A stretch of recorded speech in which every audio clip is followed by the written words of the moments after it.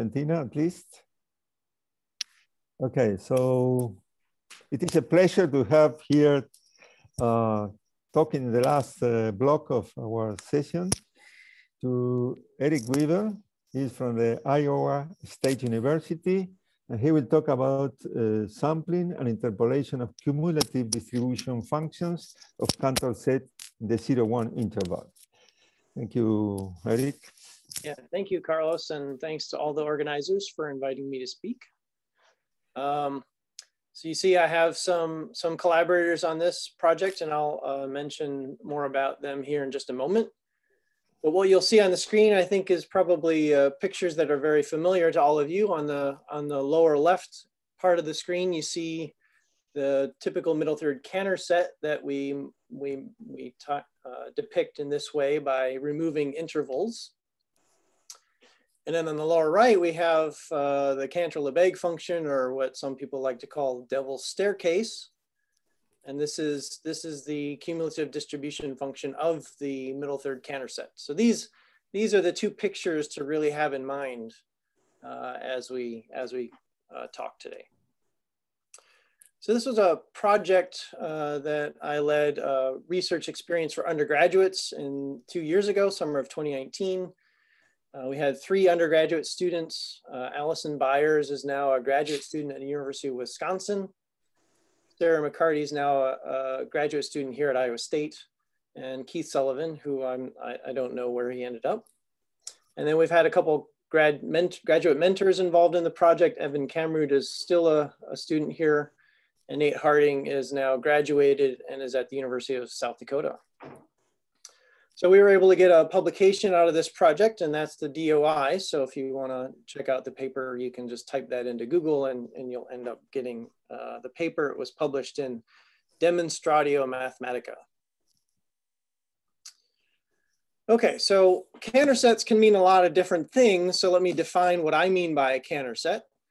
So a Cantor set is uh, created as, as depicted on that first screen by removing equally sized subintervals or, or equally scaled subintervals, I should say. And so these are defined by two objects. One is the scaling factor and the other is the digit set. So, so uh, if you want to think about this in terms of uh, n-ary expansions, we, we define a base n and we define which, which um, digits we're allowed to use in the n-ary expansions. Another description for us is just simply a binary vector. So we have a vector of length n. So n, the length of the vector, the number of components of the vector is the scale. And then we have either zeros or ones depending on which of the digits we're, we're keeping. Now in this talk, I won't use that binary vector notation much, but in our paper, we use it an awful lot. And it's particularly nice because it allows you to do things like take products of Cantor sets. You can take products of tensor products of binary vectors, and that gives you this type of operation on Cantor sets.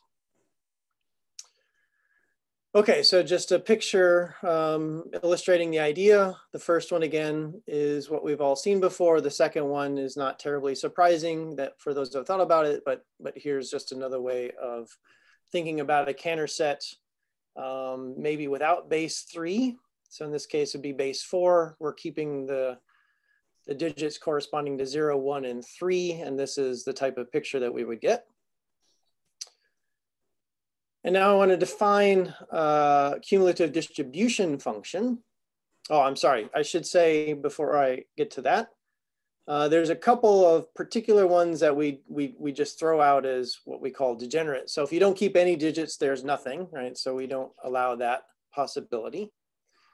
If we keep all the digits, then we just get um, the interval zero, one, and the corresponding measure is Lebesgue measure. So, so we, we put that aside as a special case.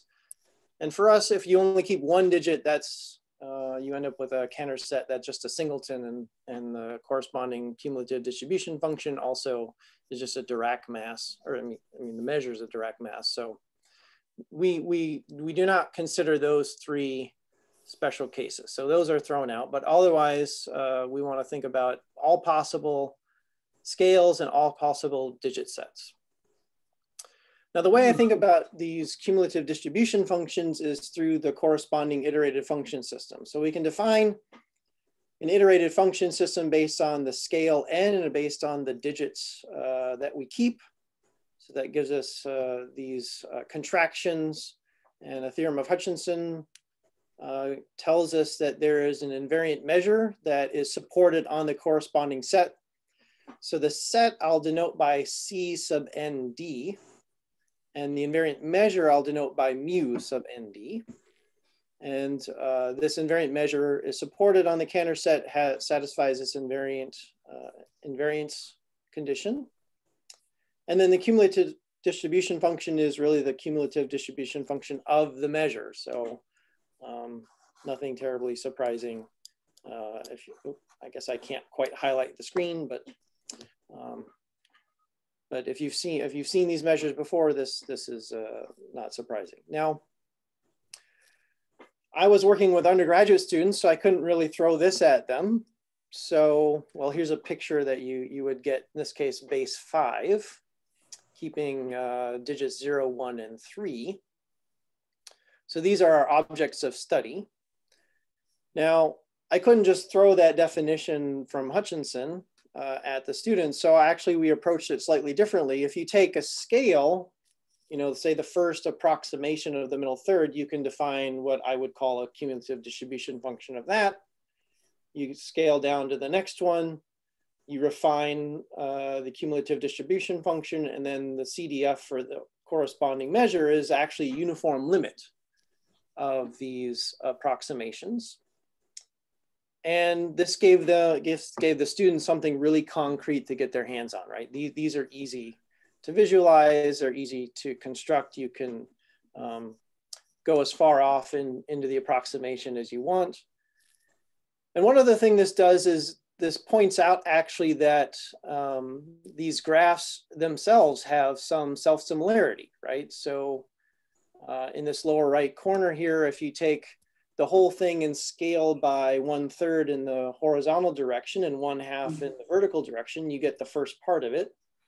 And then if you take that and you shift it over and shift it up, you get the second part and then you just connect the dots from that point, right? So, so actually the students use that property in a couple of places in their project. This, this fact that this graph has that type of self, self-similarity. Uh, Eric, sorry, the question just for clarification. What does it mean 0.11 again? What does it mean? I'm sorry? Yeah, what is that on the x-axis you have we have the division, we have the partition on the y-axis. What does it represent again? What does the y-axis represent? The y-axis is, um, so the zero, one, and that's just the value of the, the function between zero and one. Okay, thank there's, you. There's no, there's no real division here. Alexa, stop. Yeah, for us, there's the, the divisions on the y-axis aren't, aren't as crucial, just the x-axis. Okay, so um, now as a as I as the title mentions, I want to think about sampling and interpolation. So what do I mean by that? Well, I'm going to use a definition that uh, I got from Akram Aldroubi, which says the following. So if you have a set of functions with some common domain D, we'll say a subset of the domain is a set of uniqueness. If for any pair of functions in your set, if they agree on the smaller set S, then they actually agree everywhere. So this is what we call a set of uniqueness. V normally is a vector space of functions in, in our context, but actually for us, that's not true. We won't have a vector space, uh, just a set of functions.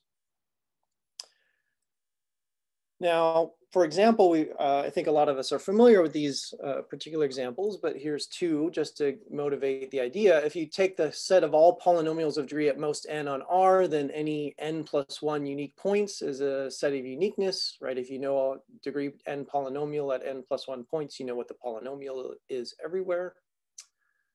Uh, for example, if you look at the Paley-Wiener space of uh, exponential type pi, then any subset of the real line with uh, lower Beurling density greater than one, that's a set of uniqueness. So if you know it at those points, you know it everywhere, in principle anyway. Okay, so our, our objects of study are all of these cumulative distribution functions. So let me just throw all those into a set G. So I look at all possible scales uh, greater than or equal to three. Anything below that is degenerate. And I look at all possible choices of digit sets, again, up to non-degeneracy. And the question is, can we, can we sample this uh, collection of functions? And to, to be more concrete about it, what if I take a specific subset of all of these CDFs? When is a subset of the inter interval a set of uniqueness for that collection of CDFs? So here's two specific examples that, that the students considered what if we fix the scale? So we know the scale, we fix n, and we the only thing that we don't know is the digit sets that's kept. So let me denote the collection of all CDFs with the same scale as h sub n. Another thing is suppose I don't know exactly the scale, but I know an upper bound on it. So let's say we fix a k, and then I look at all cumulative distribution functions whose scale is less than or equal to k, and then the digit set is uh, any possible thing up to, again, degeneracy. So one question to ask is uh, how small can a set of sam set of uniqueness be for either of these two cases? And it'd be nice if we could characterize all of them. That was not something that we that we got to, but we we really looked pretty hard at the first question. How small can a set of sampling be, a set of uniqueness be for these uh, two special classes of CDFs? Okay, well, to, to put this into some context, what if we try to sample all CDFs all at the same time? Well, uh, it's pretty easy to see that this isn't going to work very well if you try to only sample at finitely many points. If you give me any finitely many points um, in the in, in the x-axis, and if you even if you specify values on the y-axis, as long as they're increasing, I can find multiple CDFs that actually interpolate those data points. Uh, so what this means is on all of all, the set of all CDFs, I'm going to need an infinite set of points. I don't know what what uh, characterization of that might be, but you could do something very simple. You could just take all the rationals. And because these are all continuous functions, once you know their values on all the rationals, you know what their values are everywhere. And so that would be a set of uniqueness for all of G. But that, in my mind, that's kind of cheating, right? So sampling at all the rationals is against the spirit of what sampling theory is all about, right? So that's why I call this rigging the game. Okay, well, let's consider something uh, maybe simpler but also interesting. So if we fix the scale, so we're so we know that what the scale is. We the thing we don't know is the um, digit set, well, we have n minus one points that would form a set of uniqueness. You just take all of the um, integer lattice points with, uh, with scale n. You don't need the two endpoints, right? Because zero has value zero and one has value one by the definition of a CDF. So you already know those points. You just need the points in the middle. Now we actually conjectured as a group, we conjectured that you should be able to sample, if you're clever, you should be able to sample on uh, n over two points. Now we have some support for that. This is this is a conjecture. That might be a strong word because because we don't have strong evidence, but some small evidence to indicate this. First off, if you sample at less than half of n, you definitely do not get a set of uniqueness. So if you have strictly less than n over two points, then you definitely do not have a set of uniqueness. And then we actually proved something kind of interesting, which is uh, we actually came up with what we would call a conditional sampling procedure with uh, n over two points. So what that means is we sample a couple points, we look at the values we get out, and that determines where we pick the next sample point to be. And every time we want to pick the next sample point, it actually depends on what the values we're getting from the previous sample points. So that's why we call it conditional, right? So we're not fixing the sample points a priori, we're actually choosing the sample points in some sense dependent on the signal itself. So we actually were able to construct such a conditional sampling procedure with uh, n over two points. So this seems to give some semblance that uh, n over two might be a, a, good conjecture. But again, we don't know. This is, this is open. All right, so that was the extent of um, what we were able to do when we knew exactly the, the um, scale. So the second collection of uh, CDFs is when we don't know the, exactly the scale, but we have an upper bound on the scale. So again, we denote this set by J sub K. So K is fixed. So K, we know K, we know the upper bound on the scale, but we don't know the scale or the digit set.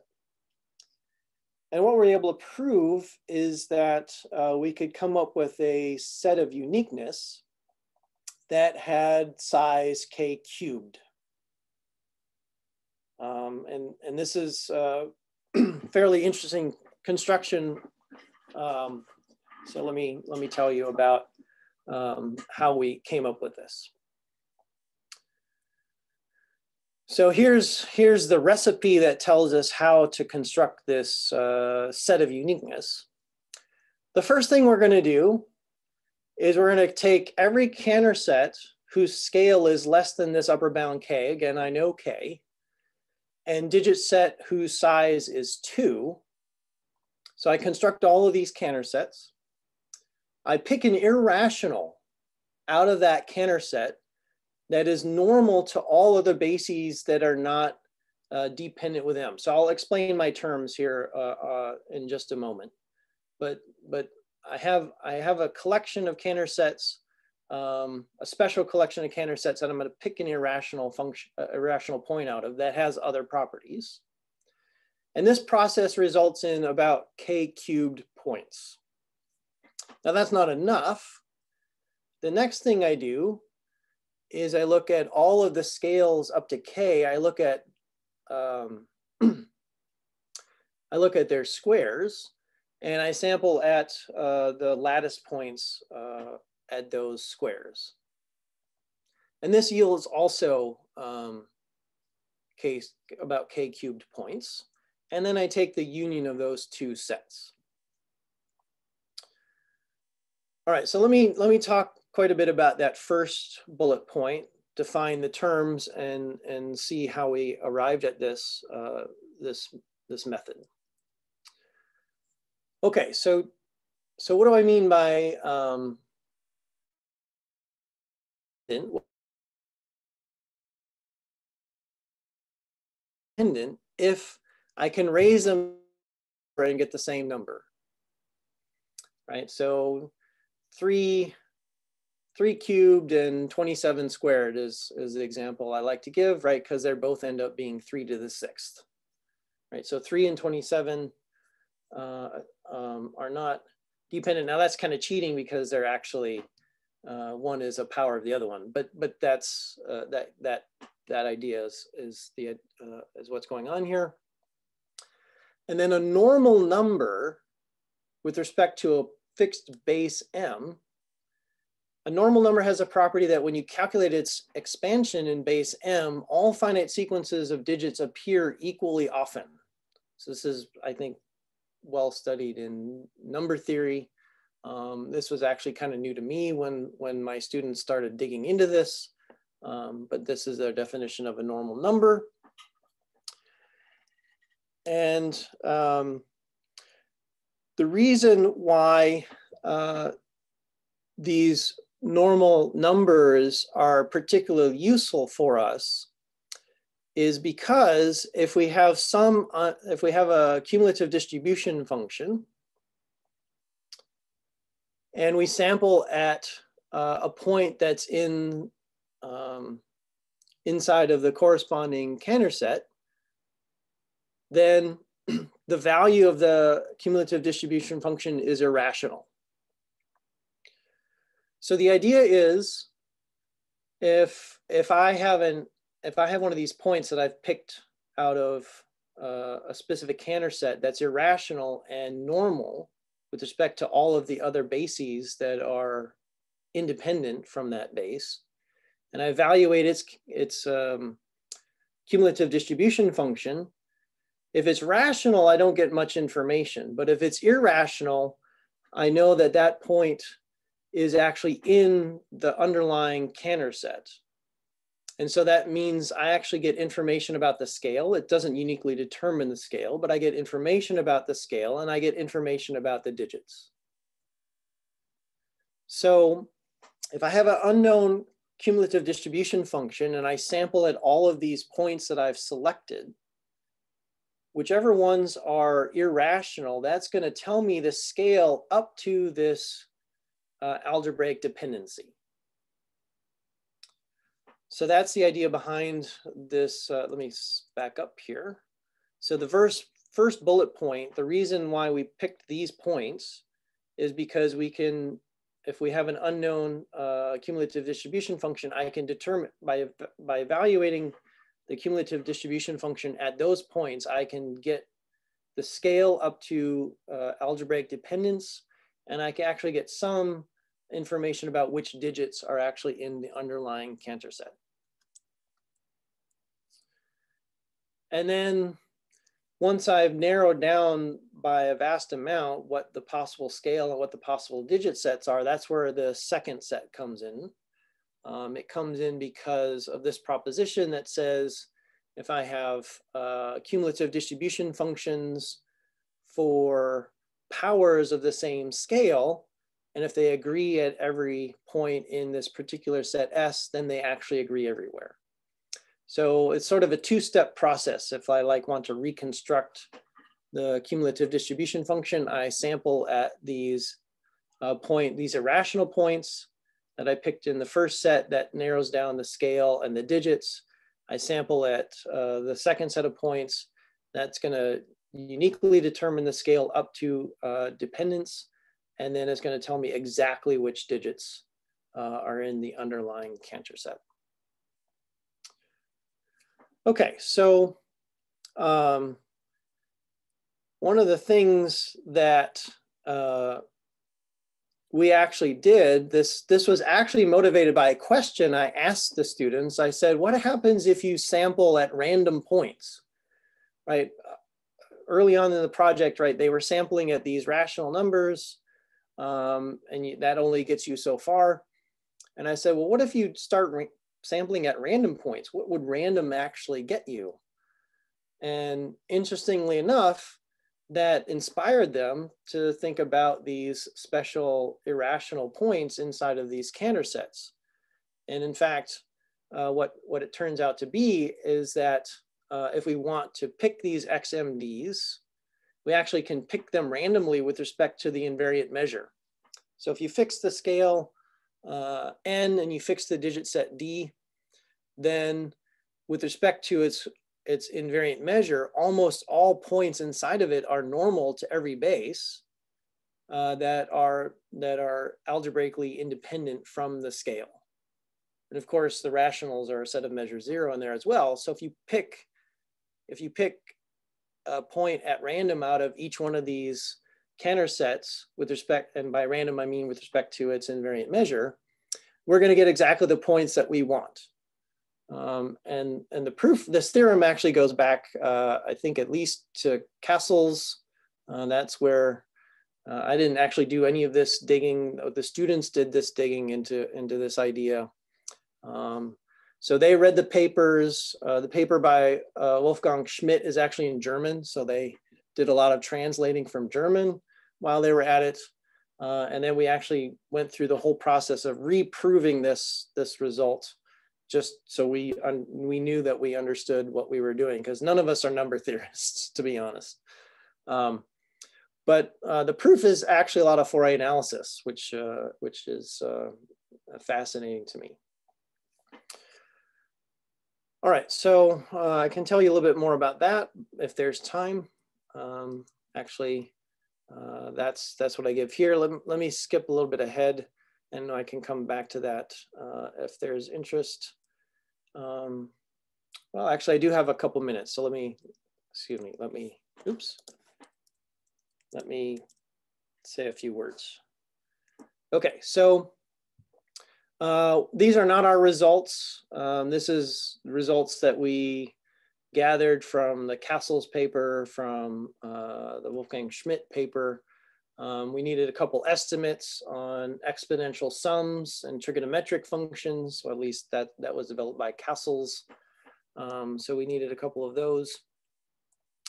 Um, and then we need we need this uh, this estimate on this exponential sum.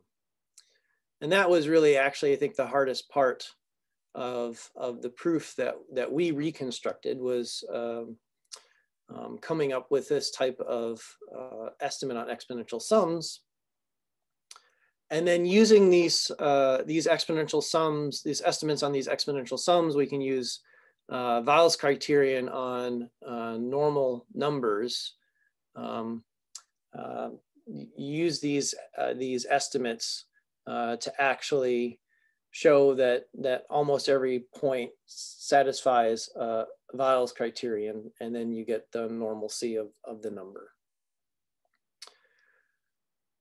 So what I was most impressed by is we're talking about undergraduate students that, I mean, not only were they dealing with all these new ideas, but they were digging into the literature from 50 years ago, some of it in German, and they didn't let the the measure theory stop them. They just they just dove right in with the measure theory and they they did really well on that. So um, i was very happy very pleased with that.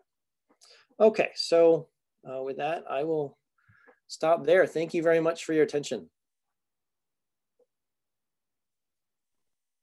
Okay uh, let's thank uh, eric for the nice talk uh, so we have uh, time for some a few questions. If somebody have comments. So this is Hi, Emily. Yeah. Yeah, obviously this was like the key to everything that was going on. But I, I saw the definition of, of normal, but it, it, it didn't quite click in. Like what, do you have normal, maybe an example? normal number? Yeah. Right here all fine. So this is a lot stronger than we need, right? All all we really want is to know that the point we pick out of one Cantor set isn't in any Cantor set with a different scale, which means we just need to know what it has all of the digits. Mm-hmm.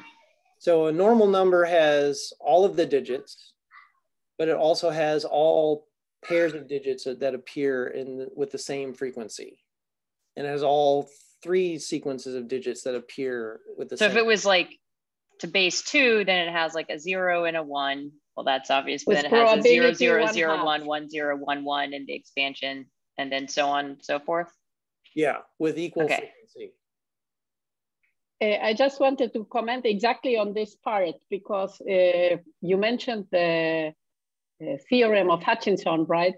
And this is exactly if you have the invariant measure associated to the p equal one half, one half, so equal weights for each interval you choose, then you can prove actually that the measure you get out of it is has essential support on the normal numbers. Whereas if you choose p and one minus p, the essential support is on the sequences of zeros and ones who have P with probability, uh, one with probability one third and zero with probability two thirds, for example. I mean, just so the, the essential support is disjoint, even though they are all supported on the same Cantor set. Yeah. So this is just a comment. Okay. Um, so I have a, a small question. Um, Eric, any chance to, to extend some of these results to uh, more general Cantor sets?